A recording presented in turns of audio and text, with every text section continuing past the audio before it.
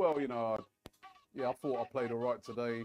You know, uh, I was really pleased to have scored that hat trick. Um, you know, thanks to Mesut Ozil, you know, it was great the way he just passed the ball through to me. And you know, once it, once I received it, there's only one thing on my mind. I was going to hit it right in the corner.